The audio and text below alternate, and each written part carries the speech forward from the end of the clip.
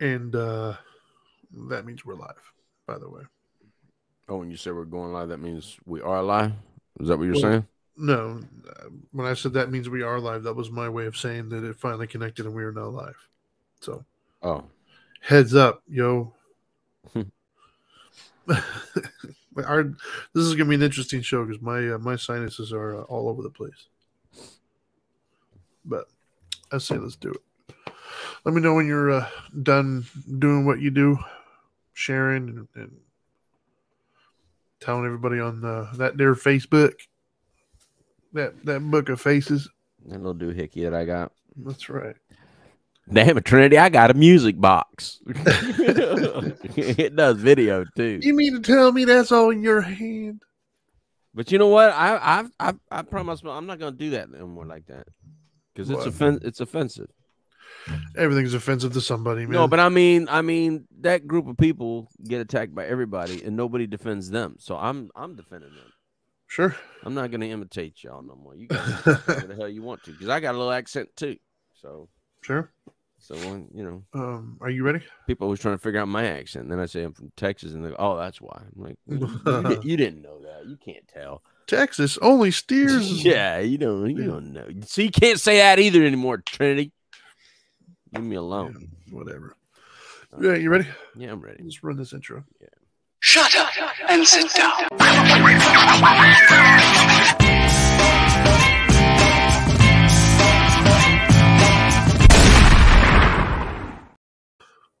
Boom. Man, that's a you, that's a loud gun. you know what I just realized? Like, I think the last two times, I believe, Mm-hmm. I don't have to actually switch off of the intro. Once it's done playing, it automatically switches back to this. I Oh. think maybe I should have known that, but I don't know. From day one, I've always just clicked it off and gone to. So now you know. You heard it here, folks. First, uh, I don't whatever. You heard it here, kids. You've you've earned producer of the year award. exactly. And we're only in February, so what does that mean? Uh, anyway, That means what's up, nobody's got a chance. Just give it up now. Just Yeah. you, you ain't got a chance. Um, so uh, what's up, everybody? Thank you for tuning in. Uh, this is, of course, uh, Dope and Dharma. Yeah. This is the Dharma Time edition here on not Tuesday. It's Thursday, I think. Oh, that's um, right. It's not Tuesday. it's not Tuesday. Uh, and he is, of course, uh, the Dope Doctor, one and only, and I am the Dharma guy. Welcome. Mm, Um, we did not do a show on Tuesday uh, because No. he's, you know, he's rich and famous, so he's got to go do his thing. He didn't I could have done it. the rest of I could have done it.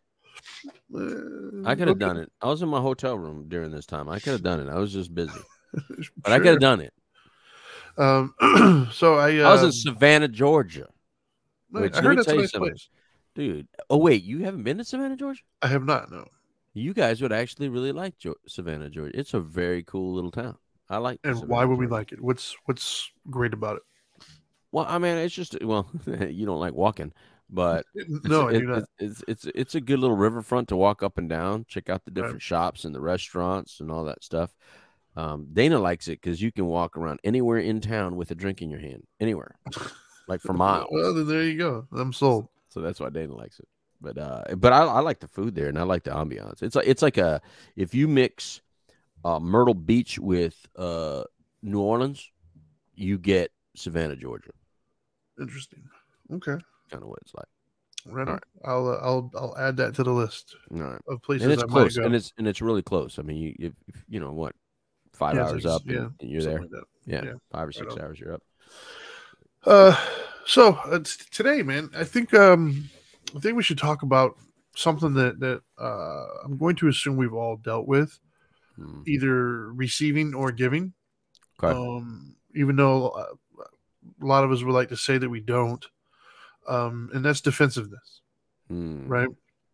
We we are at times critical of others, right? We might want to point out a situation where they could have done differently. Maybe they hurt our feelings. Maybe they messed something up. Uh, so we, you know, we're great friends and relatives and spouses. So we try to come from a place of love and understanding. And we're like, hey, when you did this, it hurt my feelings. When you did this, it caused something else that was unintended. And I just want to let you know about it.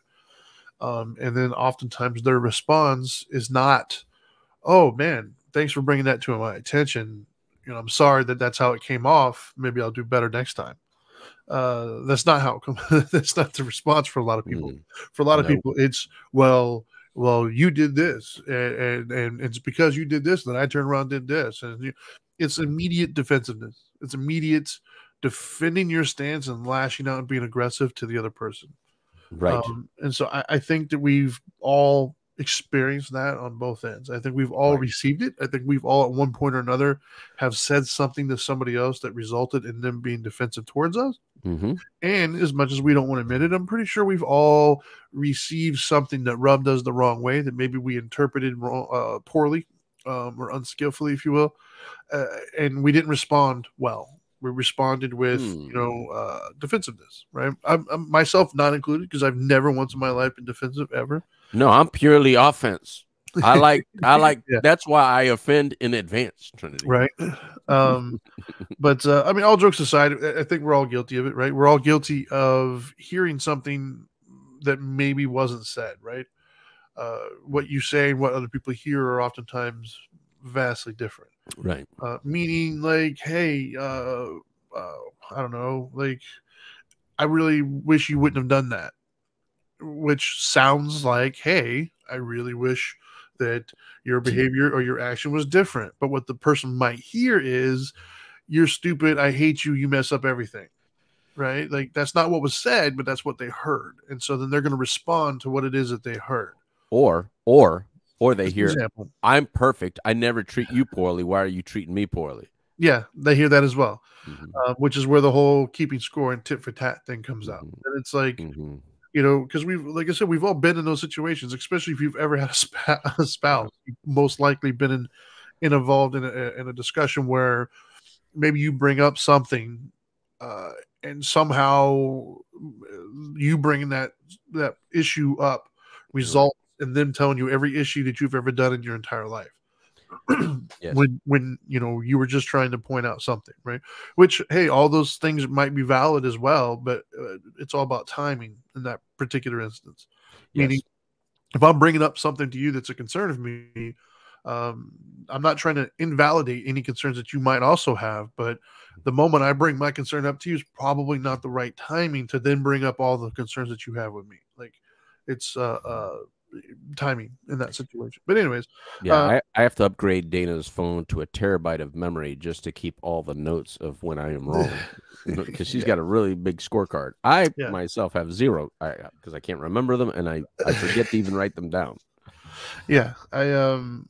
So, anyways, I, I just figured it'd be a, an interesting thing to talk about because Okay. uh, uh, I think it's.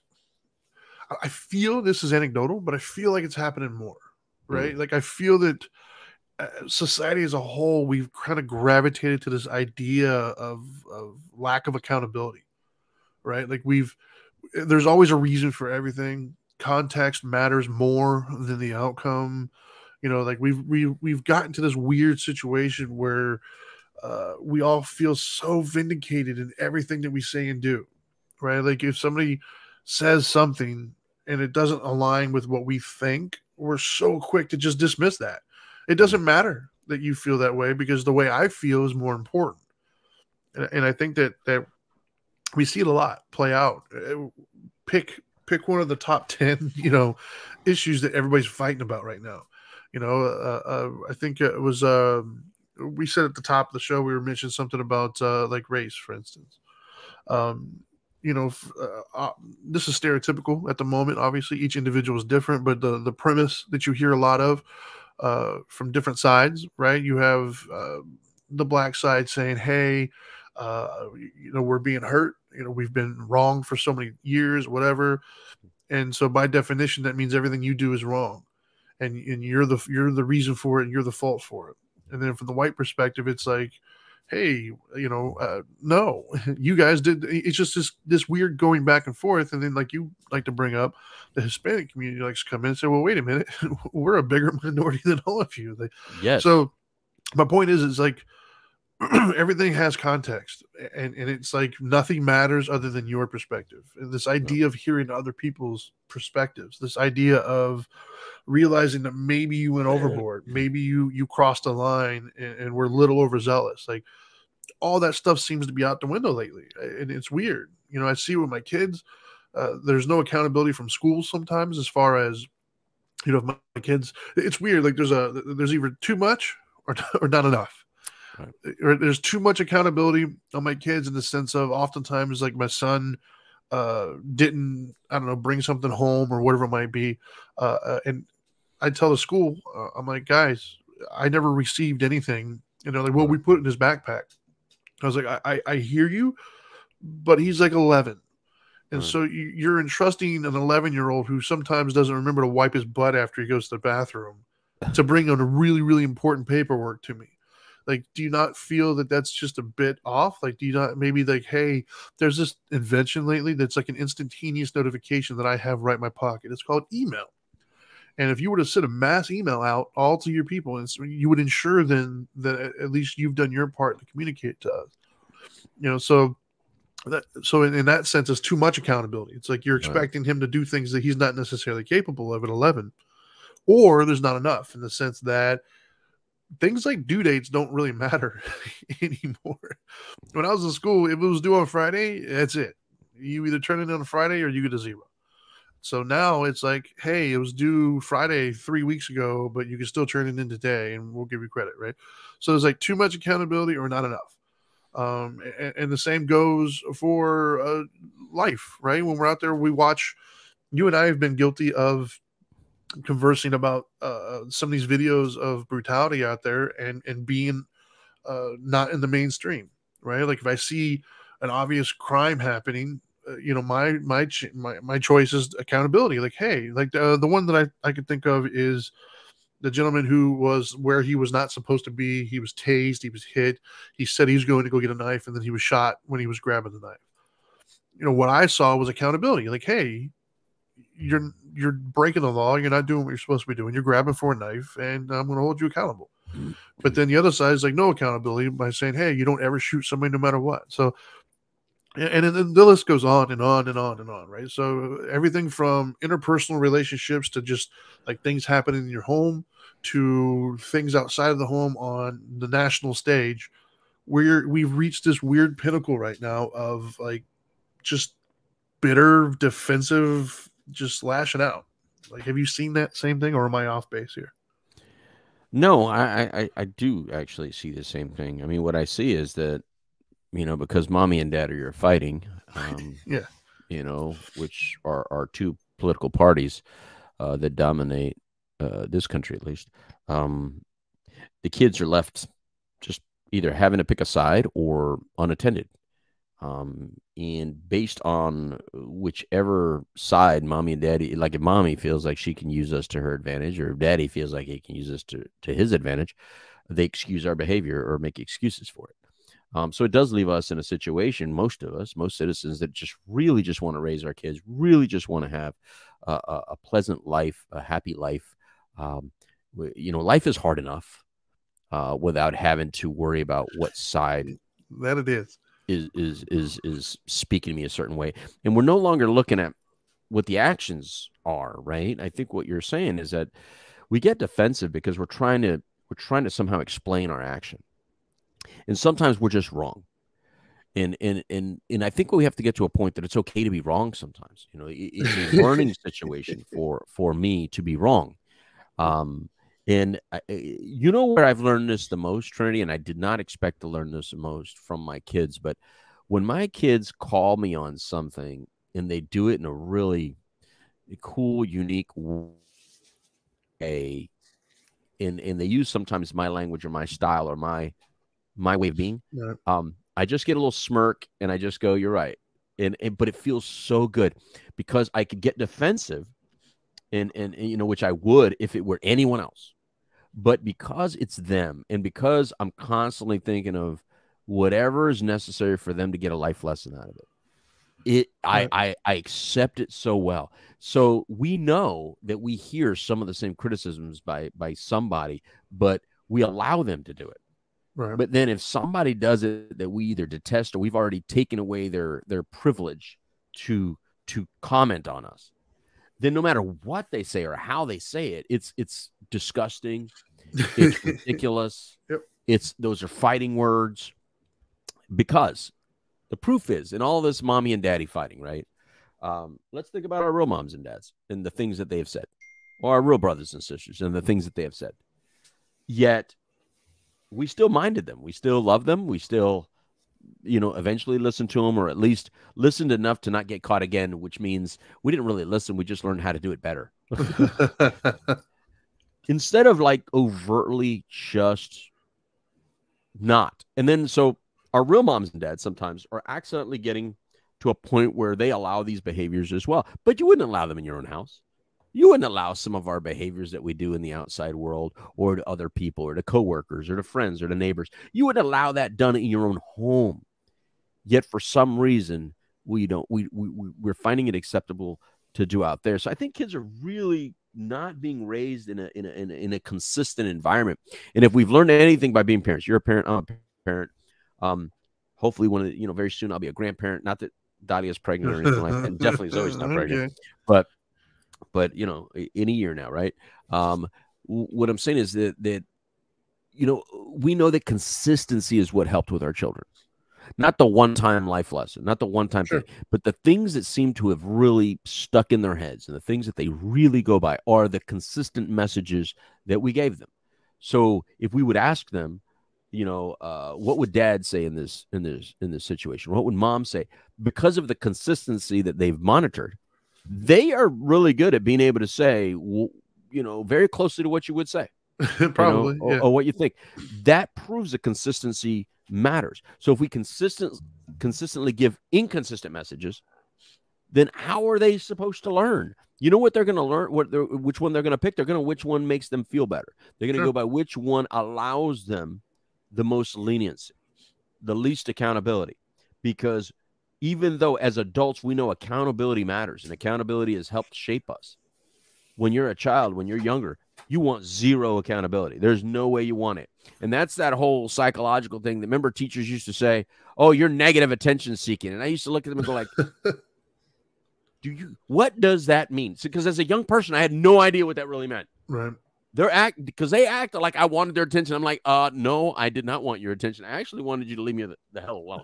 you know, and, and they tried to expa- explain a psychological profile to a child. They tried to explain yeah. something that they themselves learned in some Psych 101 class that they have no idea how to explain it.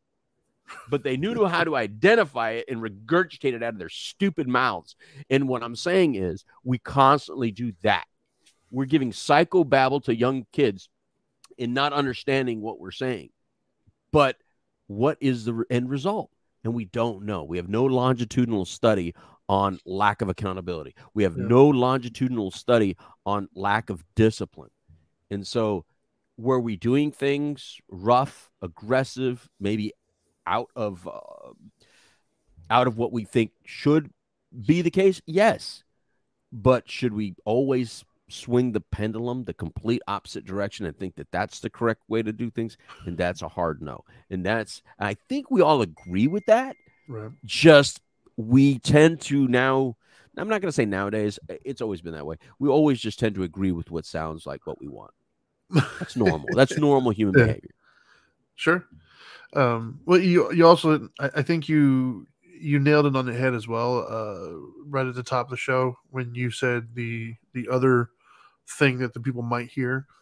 Um, because uh, i'm just looking back so there's two things going on here right? There's there's the defensiveness that we get mm-hmm.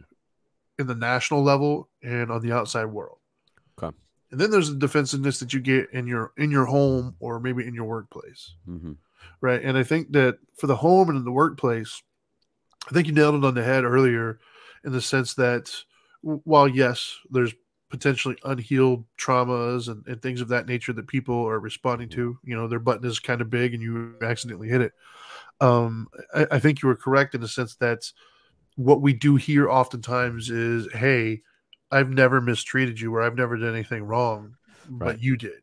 Right. Right. Because that's where the whole like this blame game starts to happen. Is mm-hmm. is you feel like when somebody, you know, uh, I don't I don't use the word calls out because it feels aggressive, but like mm-hmm. when somebody takes exception to something you said or did, instead of hearing, "Hey, like this is my teammate," or this is my my friend this is somebody who i've welcomed in, into my life for a reason like i have some sort of respect or love for this person Right. uh, let me hear them out like let me let me Mhm. try to figure out let Right. me understand where they're coming from whether i agree or not like let me Right. let me see where they're coming from um instead of doing that like you said i, I think what people oftentimes hear is i'm awesome you're not and this is why um, and it's sad that we hear that right. because I don't think that's what's intended oftentimes. If if not, I'm not I'm not gonna say never because I'm sure Right. there's somebody out there that does. Uh I'm gonna say the vast majority of the time. And that's where you always hear these these therapists talk about or even on these like relationship shows and you know even older people who've been married for a long time they always say the word communication that's what they mean right that's what they mean is is effectively communicating to somebody how you're feeling but then also allowing them to effectively communicate to you, hearing the message. In other words, turning off that little kid inside of you that's getting ready to just explode on this person who thinks that they're so much better than you. They never do anything wrong, and how dare they talk to you? Like turning that little thing off, right? And and I agree with you, man. I really do think that that's the crux of the interpersonal ones. Maybe not so much out in the world, maybe not so much uh, nationally. Um, I think nationally has more to do with accountability Right. uh, whereas you know in the home in the workplace amongst friends i, I think that um and, and the closer they are to you uh, the less leeway they get right. right like i probably give you more leeway than i give my wife only because you know my wife says something it's like whoa hey well because i you know same thing i already have i have a memory bank you know of Mhm. some things that maybe i looked over or some things i didn't address with her or Right. little things that I'm like, ah, whatever.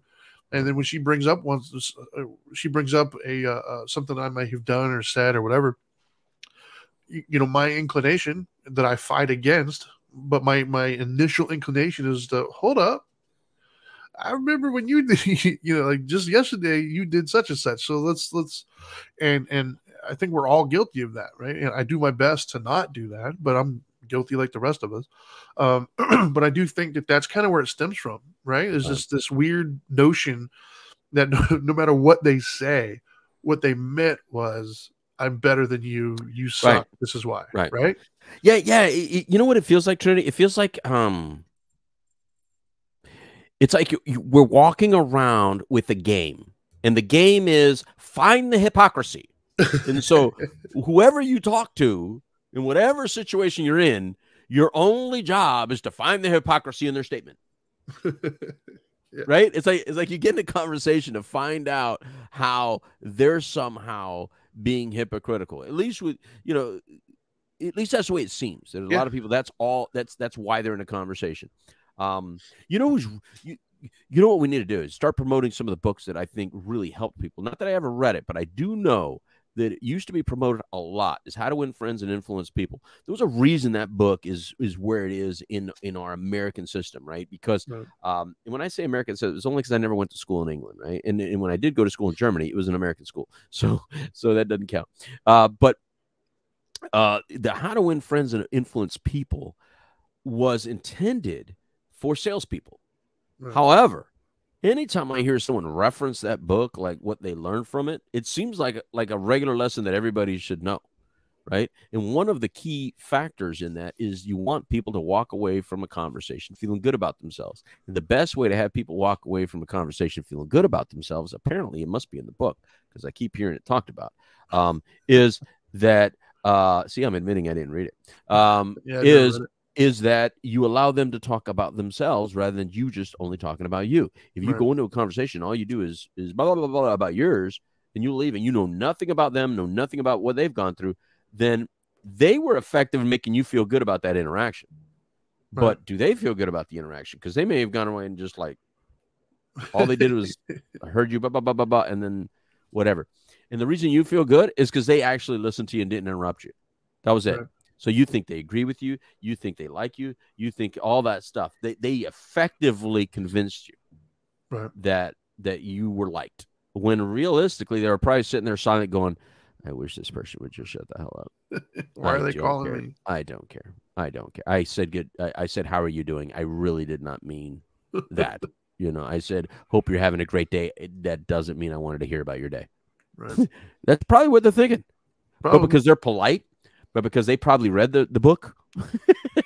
They're just letting you go on and on. But I think things like that. I think that how do we get back to some of those lessons, Trinity? Like like in in in when I say how do we get back? Again, I always like to preface it that remember Elvis was was a dirty, nasty man before he was a saint, right? Uh, uh, jazz was dirty, evil music before it was like you know the etiquette world. You know, like it was high class. Uh, so Sure. so depending on what generation you're in. You're always going to look at the youngsters and say, "Get off my lawn." That's part of the deal. So this is our turn to do that. Yeah, this is our turn to do that. You know, I'm not, I'm not going to give up on my turn just because I, I'm aware of it. I'm still going to say, get the hell off my lawn. You know why? Because we should have got off the damn lawn. Right. You know what I mean? You know, Uh, so I'm saying it. Uh, but can we at least teach the younger people out there that sh- we understand why they're saying what they're saying? We understand what they're doing. But please understand that you are an evolution in progress, not us. We're we don't we're not going to evolve enough in our short amount of time left on earth uh, to make a difference in your life. But you, however, can evolve a tremendous amount in your lifespan to help the generations behind you. And so take that as a responsibility, not as a you're the first generation ever to think these things, or you're the only generation to ever have thought of these things, or you're the only generation to save this world, this planet, these people, because everyone before you is a complete idiot. That's that is if you think that way, you are the problem. Right. If you think that way, you, my friend, are the problem. That means you're coming into it concrete and not water. Concrete is immobile. Concrete doesn't learn. Concrete doesn't listen. Water flows. Water adapts. Water figures it out. So be water.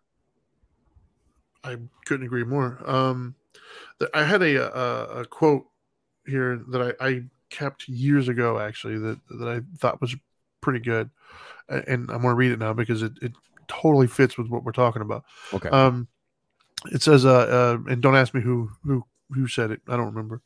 Uh, in a controversy, the instant we feel anger, we have already ceased striving for the truth and have begun striving for ourselves. Hmm. I, I, that one spoke to me long years ago when I first wrote it or, or when I 1st Mhm. copied it down. Mhm. Um, because at face value, I was like, well, like I had to, when I, but when I really thought about it, I was like, yeah, you're kind of right, right? Like, if you hear something, if you start getting angry, you're no longer trying to get to the truth anymore. Right. You're you're defending your stance. You're you feel some sort of fear that you're either not going to get what you want or you're losing Right. what you have, right? Like respect, love, whatever it might be. And now you're responding out of that. And that's where the anger comes from, right? Because we all, have, for those of you who don't know, anger is a symptom, right? Some people cry, some people get angry, you know, but it stems from, hey, that hurt, right? Mhm. Like that didn't feel the way I wanted it to feel, so now I'm going to respond. You know, and like I said, some people cry, some people get angry, some people, you know, whatever. Um, but yeah. It's a response to another feeling. yeah. And so as you start getting angry, like you're no longer trying to get to the bottom of things. All you're trying to do is just stop that icky feeling, right? Like whatever the "Oh, I don't like that. I don't, it doesn't feel good. So now I'm going to stop it. And so I, I think that um, this whole concept of listen more than you speak is is is uh, uh extremely valuable, right? And and as I've gotten older, I've I've appreciated that more. You know maybe because i've gotten wiser as i've gotten older i've gotten less concerned with the viewpoints of others as far as judge judging me and how i'm presenting to the world kind of a thing. As i've gotten older i've cared less. And that's enabled me then to see the benefits of when somebody's saying something for me be like okay like Mhm. sure okay. Right.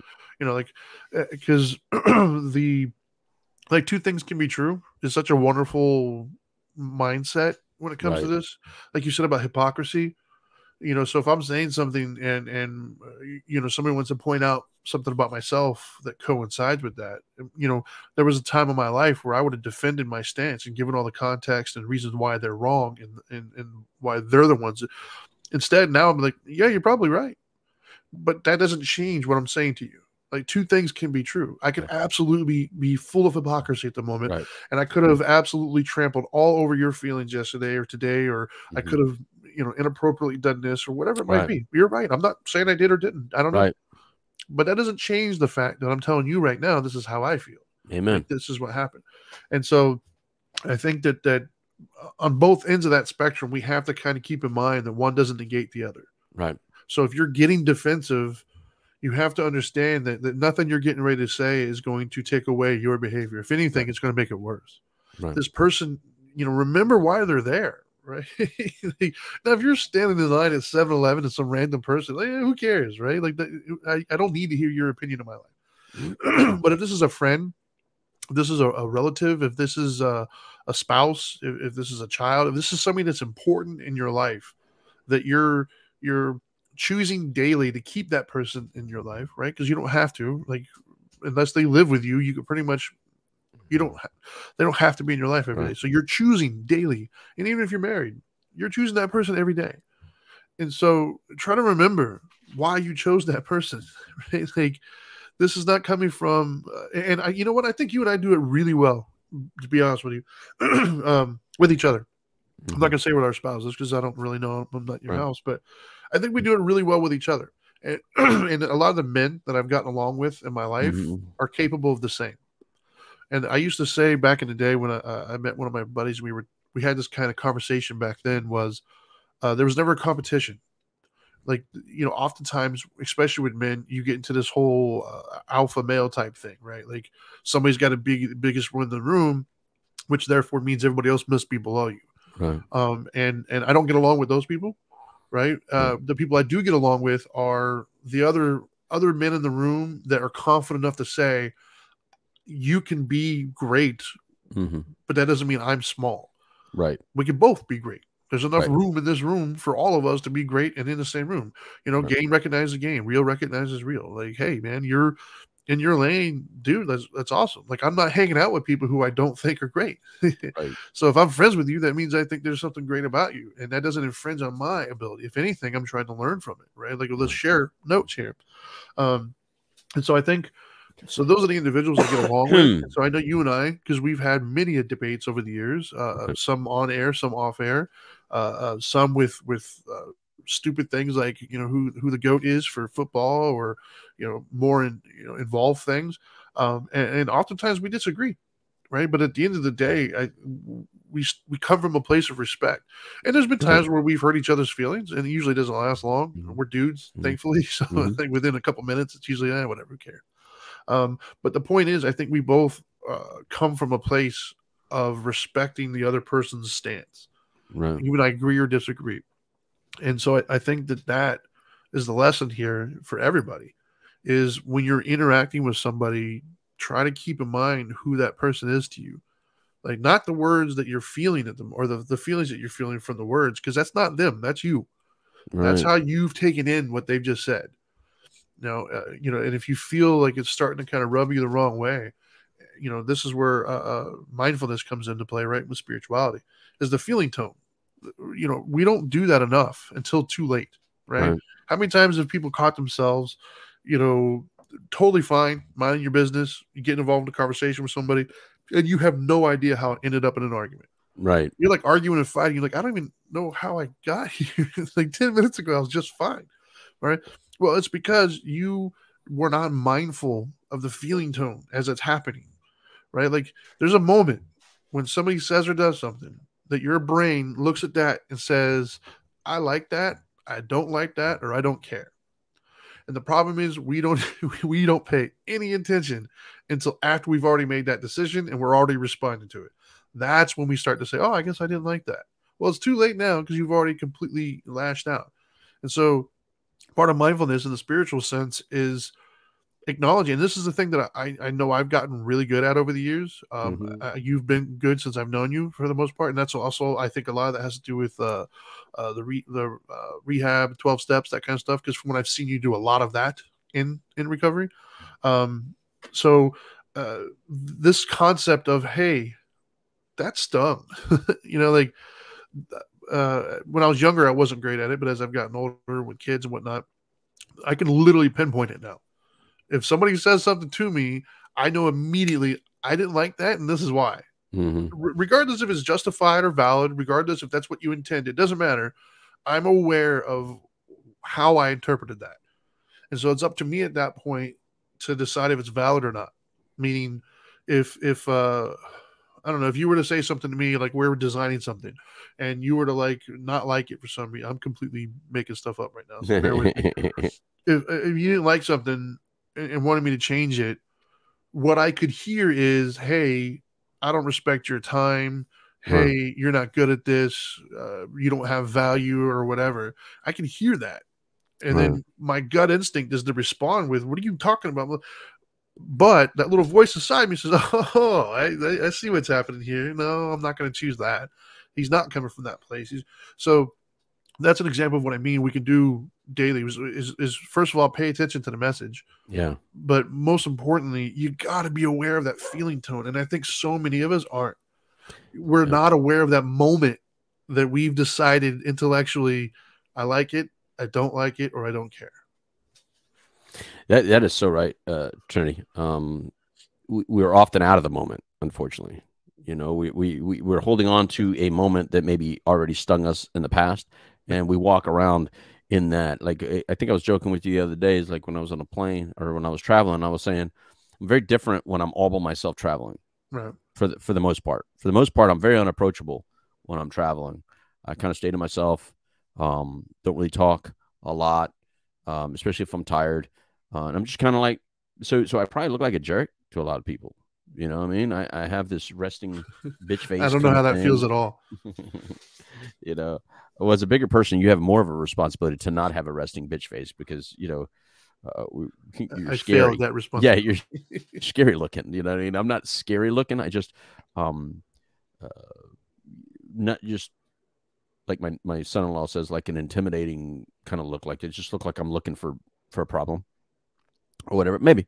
Um, and so so I I, I have to acknowledge that. I have to know that I do that. So I have to soften it. Like when it comes out of my mouth, I soften my voice a lot uh, when I'm dealing with with uh, you know servers, um, you know, flight attendants, and I have to soften my tone because I know I'm not looking like a nice person. You know how like when there's certain actors that we've always seen get typecast at a certain way because they just look like a jerk. Right. I have a feeling I I'm I look like that. I, I you know what I mean. It- it- you know, I, I don't look like the lead character. I always look like the jerk. So so, but you have to acknowledge that and be okay with it, and just understand. Okay, and it's not their fault. It's it's you know it's just it just is what it is. Right. Um, y- y- you just got to be aware, like like you said, be mindful of it. The other thing is that I think that God, man, I don't I don't want to sound like uh, like the Bloods here, but but I think that TikTok uh, has painted some things. I, I I think that everybody looks at things like like TikTok filters. Um, in in like we tend to view a lot of people like through a, the TikTok filter rather than a regular filter. In other words, like if everybody that looks a certain way, like you automatically put a devil, you know, filter on it, so we're all walking around like devils, then then that's all you're gonna see. You're not gonna see the real me. You're gonna see the filter that you placed upon me you know and, and for you for instance uh, you know if i look at you and i just see the Klan the Klan hat you know and that's not who you are you know but if i put the Klan filter on every white person in america then i'm going to treat you all like a klansman Right. you know I mean? It's just what's going to come out of me. And I think that's where the life lessons have to stop. We have to stop putting filters, our our shit, you know, because based on our insecurities, our pain, our incorrect thinking by our parents who just they were unhealthy. Because a lot of you younger people, you have very unhealthy parents. Yeah, I know they loved you. I know they intended it the right, but they have such bitterness and hate that they're applying it to you right now. And so you're learning a lesson that they couldn't resolve. They didn't know how to resolve it. So what they're teaching you is to continue hate or continue a problem, continue a pain. And in our our job as future generations is always trying to deal with stuff that our parents were unable to deal with. And their parents got it. I mean, they got it from their parents who they were unable to deal with. And their parents got it from their parents who were unable to deal with it for whatever reason. For whatever reason. Some some pains have, have gone on for generations. For generations. But our job is always that I have my own pain. I don't need yours. I have my own problems. I don't need yours. Um, I have my own path. Uh, I appreciate you highlighting yours. So that is always an option. I can always walk down the path that my parents created for me, or I can choose a different path. So having it as an option or having it as a mandate is two different things. And so I encourage everyone to accept and appreciate the options available to you and understand that the one that you may choose may just be a little bit more difficult or it might be a bill of goods. It may be fake. It might be phony. It might not be real. There is always a highlighted path. And it's always easier to at least walk down the path that someone else forged before you and then maybe add something to it rather than try to completely reinvent it. And I think that's where we get to in arguments. I think that's where we get to in communication. I think that's where we get to in relationships. Um, you have your loved ones trying to give you feedback on a situation or people that are well intended to give you feedback, and you tend to listen to the one that sounds more like what you really want to hear. You know, uh, your, your, for you females, your girlfriends, for you guys, your guy friends who are in the opposite situation. For instance, if you're a married man and you're listening to your single male friends about feedback, That's a bad or idea. your divorced friends, good luck. Yeah, if, if you're if, if you're a female and you're listening to your female friend who is three times divorced or oh good luck with that you know Yeah. what i mean It- married helps married single helps single that is also a truth people so Yeah. so uh i for once i i get asked uh, uh, you know because i'm a counselor in life uh, a lot of people will try to ask for for for advice and i'll say i'm not in your situation you know so so i can give you what what sounds like textbook kind of response um and i keep also give you my friend feeling but i'm not going to use both with you because you're in your situation and in it is it's a baited question i'm too much your friend Sure, here in this situation. So I'm just going to give you some textbook stuff and I'll give you my friend thing, but you have to take you have to live with your end result, not me. And text text responses don't always apply and, and friend responses don't always apply. And I and I think you can you can attest to that, right? Uh, When we've had deeper conversations about our our personal lives, uh, I can give some responses, but at the end of the day, I'm pretty sure I always come out at the end and says, "Yeah, but you got to live with it." Yeah. So that's the that's the end result. You have to live with it. So that's that's the most important response. you know what I mean? That's the most important lesson in, in all friend conversations. Sure. For you to know as a friend that your friend has to live with it, not you. Yeah, I, I think that um, so everything you just said, I think um, really very nicely applies to to giving defensiveness, right? Like when you're hearing something in, then turning around and lashing out. Um, so I'm going to try to address what worked for me, anyways, on the other side of that. Okay. When you're trying to give out not necessarily criticism, but just whatever it is that you're giving out, and you're receiving defensiveness in return okay. right?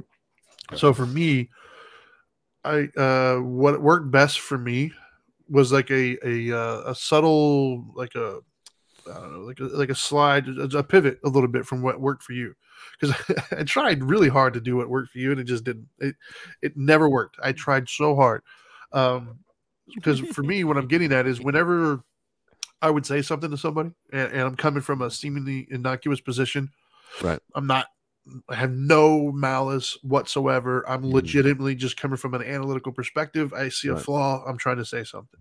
Right. Um, uh, and if I get uh, nastiness in return, uh, my my go to is is I'm going to shut that down. my go to is no, you didn't just come at me with some attitude after I was trying to be cool. Like oh, we're giving out attitude. Oh, cool. Let me know. I'll I'll, I'll give some back then. You know, I used to always say I'm a mirror. Right? I'm gonna give you back what you're giving me. Right. And so, and the problem was is I would escalate. So if somebody gave me a little bit of attitude, I'm giving you a, a bunch right, Right. back. Um, and so uh, what I what was hard for me to learn how to do was to not uh, uh, negatively respond to the defensiveness that I'm receiving and turn around and make it worse. And I know you said back in the day what worked for you was uh, uh, talking to somebody, and it wasn't with random everyday people. It was like within your own home, I guess. Mhm. Um, and that was, uh, but you also said it too. When you did it in, in counseling sessions as well. And that was think in your head, I'm coming from love, right? Like I love Mhm. this person. Um, problem is uh, that when I would think of that, I would be like, no, I don't. Not right now. like I want to kill this person. I hate this person. Um, which obviously I didn't, but in that moment, you know, I'm, I'm consumed with anger or rage or frustration or whatever Yeah. it might be. Um, so it just didn't work. You know, like it just it, it- I would try to be like I don't give a shit. I would do it anyways. Um, what worked for me though is coming from an analytical perspective and seeing what that person's actually doing, right? And I don't know if not, not everybody is going to be able to do that. It won't work for everybody. Uh, some people might not even know some of those things, right? I'm blessed with the fact that I'm surrounded by a lot of people, so I picked up things. I've read copious amounts of stuff. I'm also in spirituality, so I kind of can usually pretty well see what's actually happening, whether I want, want to see it or not, or I want to admit it or not. And so, as an example, uh, uh, uh with like with my son, my son will say or do something, you know, mean or whatever to his sister, or even, you know, uh, to somebody else in the household. Instead of me reacting to that, I see a hurt little boy. Like I, I can literally see his hurt feelings spewing out of his mouth right mm-hmm. now. You know what I mean? Like, and I'll even tell him, like, "Hey, buddy, like I get it. It hurt your feelings. It did hurt my feelings. It, it did. Like I watched it happen." You know but it, so instead of me reacting to what he's saying to me i'm trying to react to what i know the truth to be. And that is he just got his feelings hurt. He's emotional right now. Yeah.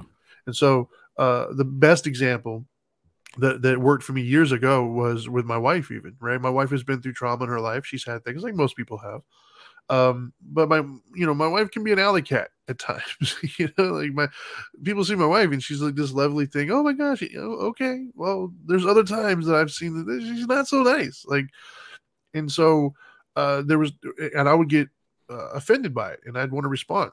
so sometimes it would escalate. It didn't need to.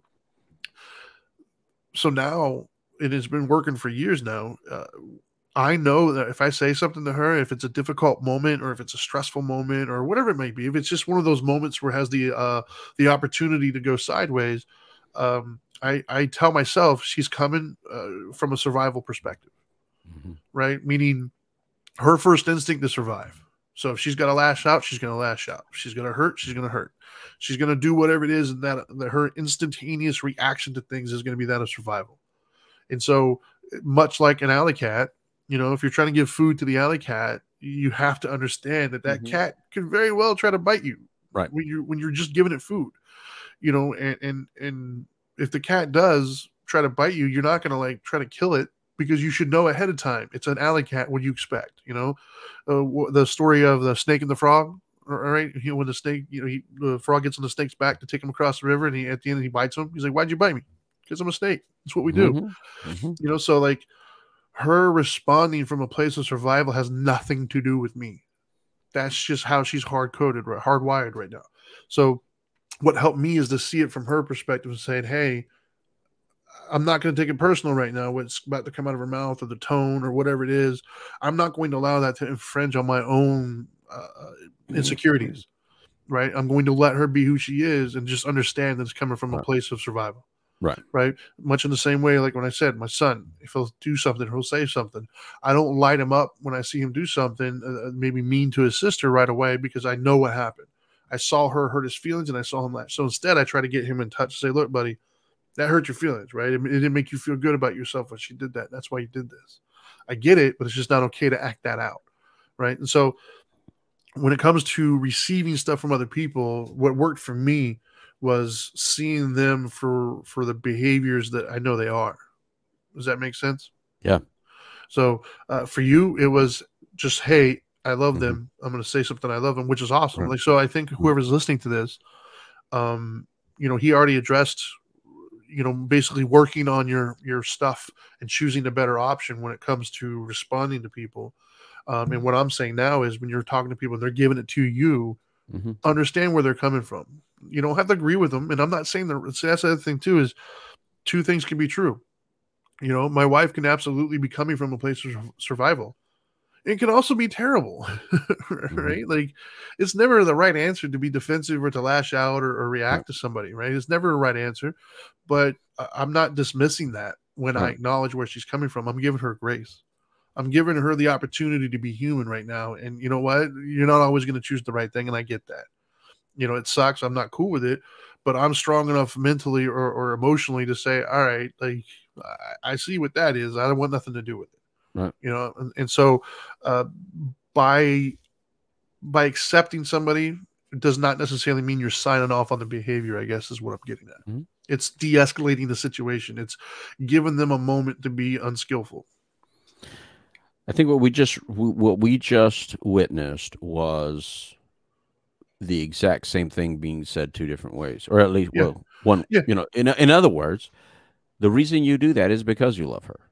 Because if a person comes into your home to steal it or to hurt you, um, I don't think you're going to go like, it's it's because you don't have a dad. And I I get it. You're lashing out. You're angry with the world. Wrong house, I- brother. this ain't what you want, man. So so in other words, because you don't love that person. that No. person you know but, but if you loved that life you're going to try to stop that without killing the life Sure. you know what i mean. Uh, because you don't know them and you, you really don't care what background they have at that moment so so we're actually saying the exact same Yeah. thing No, I, yeah, Um, so, absolutely. so i'm going to expand a little bit on that because The- you just the semantics part for me. right right all it is. right right and, and, and when i when i mean by that when i say love them is because my analysis ability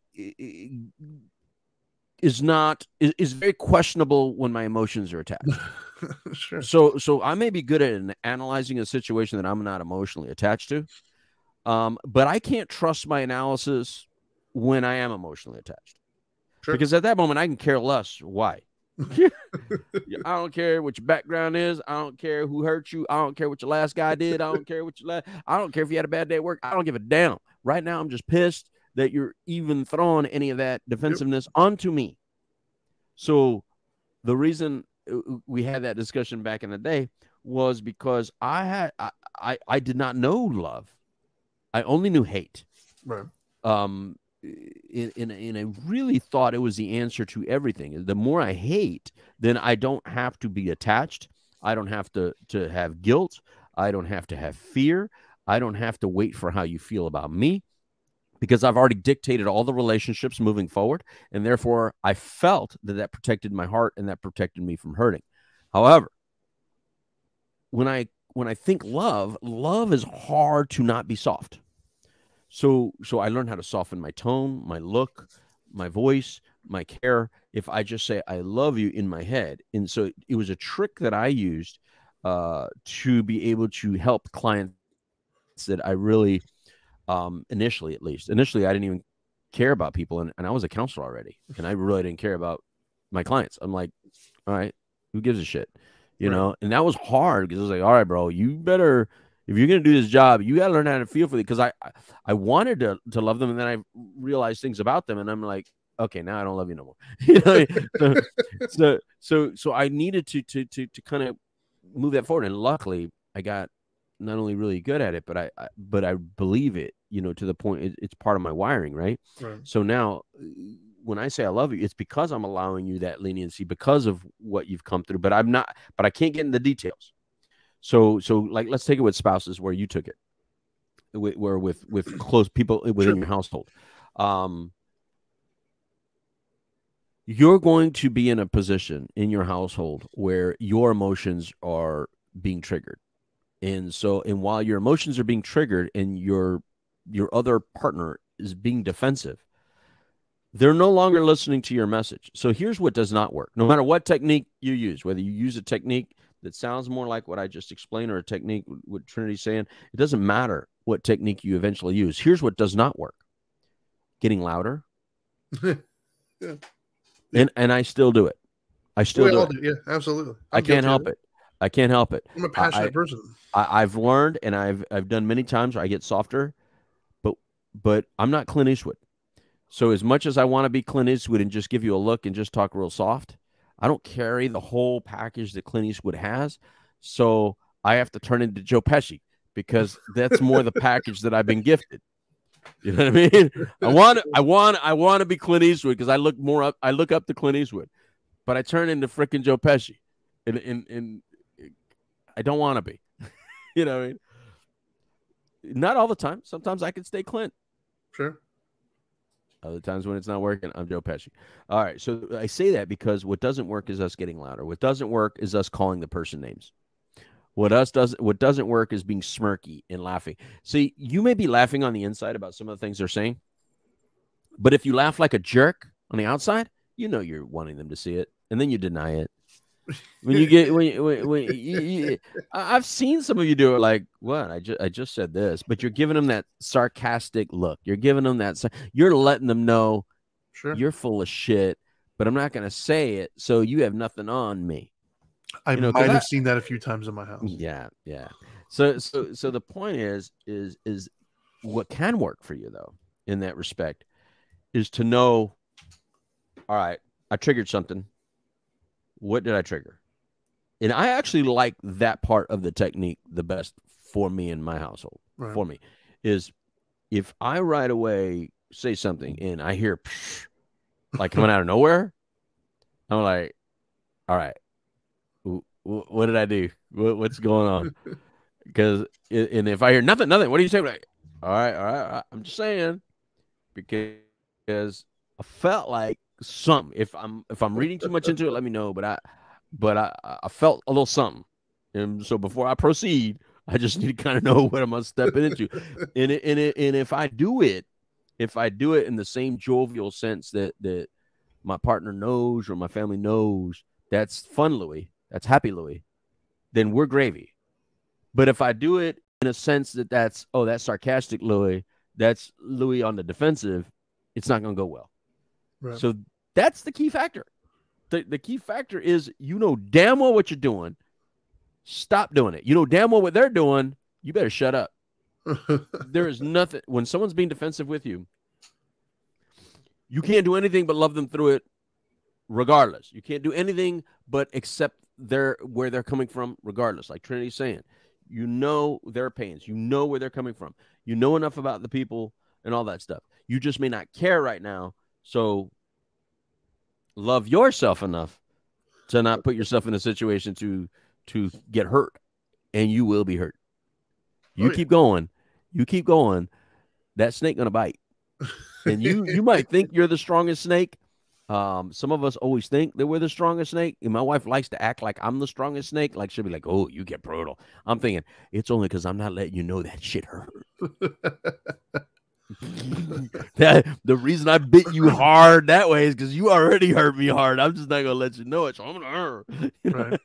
So, uh, you know, uh, love yourself enough to give yourself another day of life, because because there's a whole channel dedicated where Yeah. where where some of you you just went too far and and you don't wake up the next day.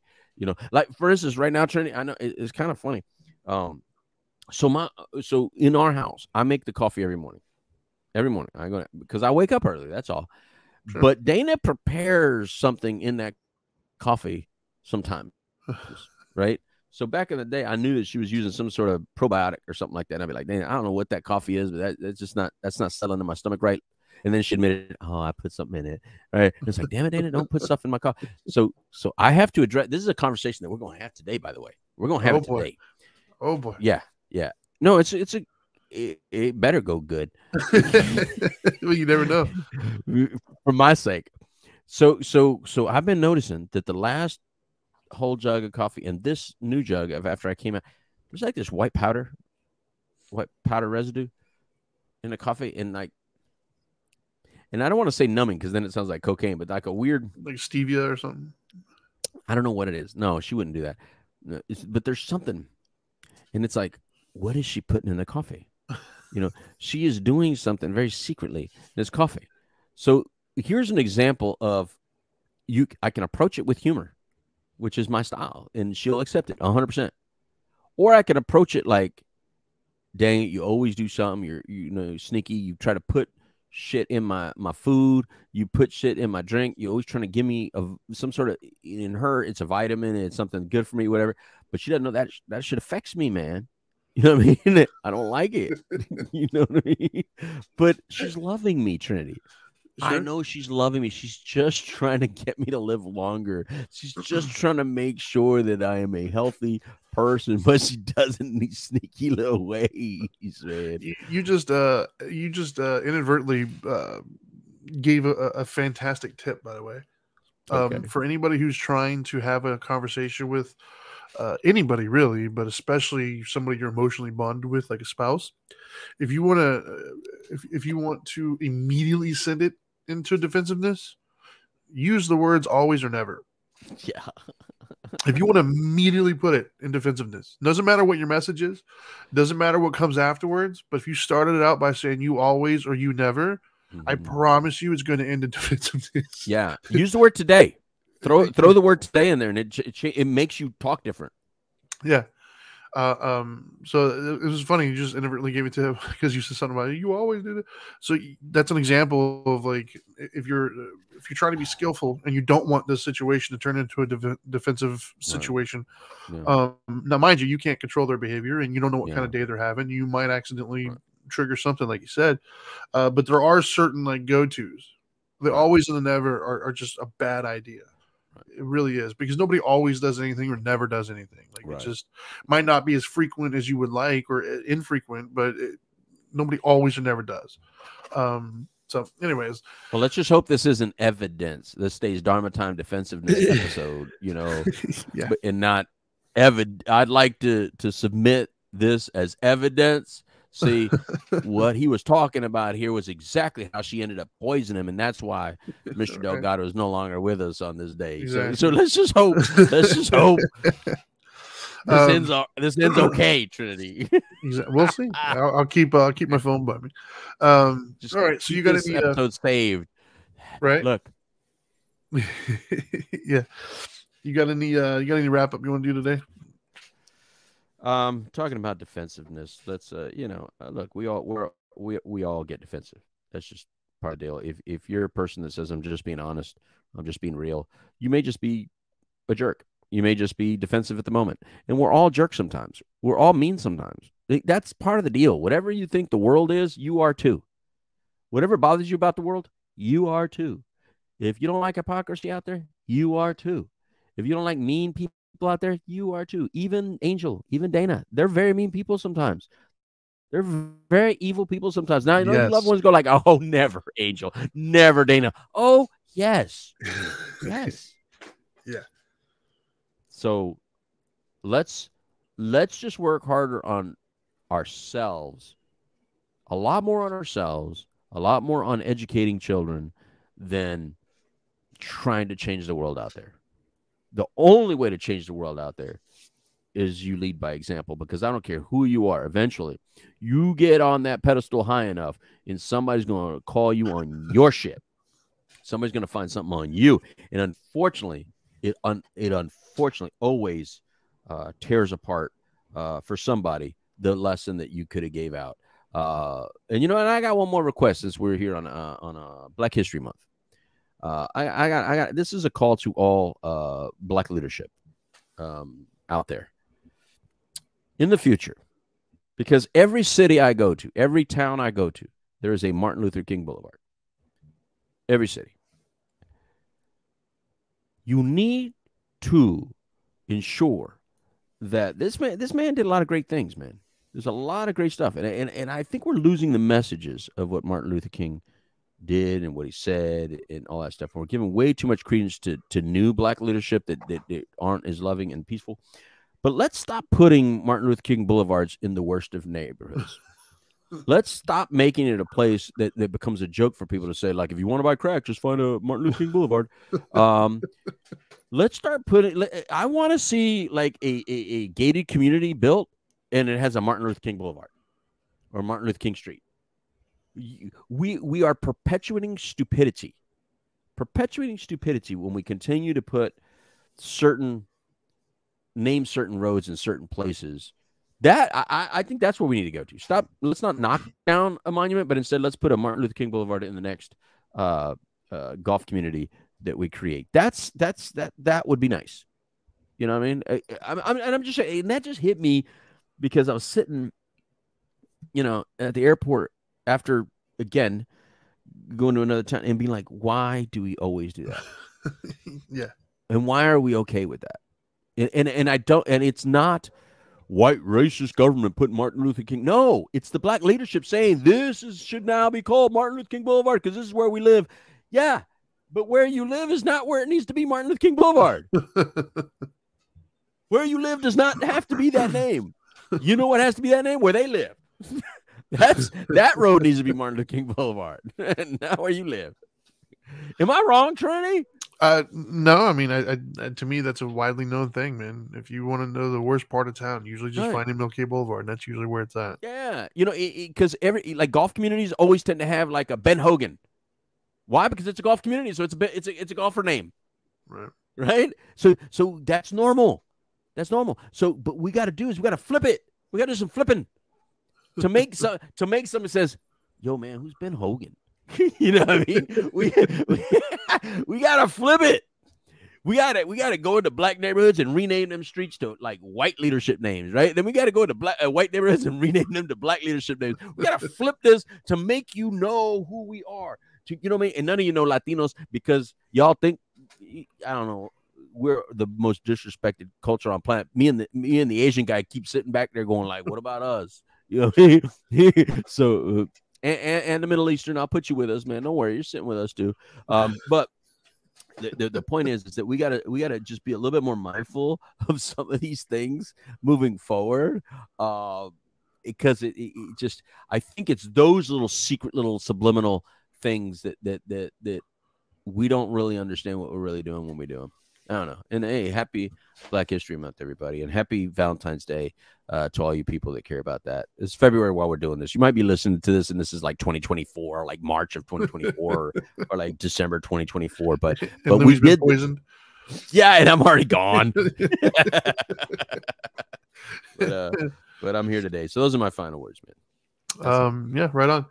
I don't know how to follow that, but I'll do my best. Uh, I just it just hit me. Because it, that. 'cause it's so it's so stereotypical. I mean, like, and everybody is. knows it's true. By the way, so don't send me no damn hate mail. You know damn well that those na- you go down to Martin Luther King Boulevard, you're gonna find uh, some nastiness on that damn road, and you can't blame anybody for that nastiness other than you chose to name it that. Sure. Um, well, first of all, thanks everybody for for tuning in. Appreciate you. Um, feel free to like, share, comment, all those Yeah. fun things that uh, Right. Make the world go around for us. Um, as always, you can check us out live uh, on any of our shows on on Facebook, YouTube, and Twitch under Dope and Dharma. You can follow him at, at the Dope Doctor. You can follow me at the Dharma Guy, and then uh, we are on uh, at Dope and Dharma. Um, yeah, I mean, as far as defensiveness, I'll, I'll keep it short and sweet. Um, do your do your yourself a favor, and, and listen more, talk less. Um, um, and when I say listen, you know, try to listen to the message. Try to listen to what, what what's actually there. Um, you, you know, stop hearing that one word or that one phrase, and then not listening after that, right? Because we all have it. They'll say that one thing or that one word, and it's like, oh, I'm done listening. Now, now I'm formulating how I'm about to tell you why you're wrong and everything else, uh, and you missed the entire message. Um, so, so be aware of that. Really, really seriously, try to be aware internally the moment that you deem something positive, negative, or neutral. The moment that you've, you know, subconsciously decided, I like it, I don't like it, I don't really care. Try to really pay attention to that. Um, and then when you've paid attention to it enough and you're very well adept at, at recognizing that, start to pay attention to what comes afterwards. Start to realize, like, man, okay, I've decided I don't like that. Now I'm starting to want to like go after this person, whatever. Like, start working on those things, right? And and, and so it's our job, as we always joke on the show.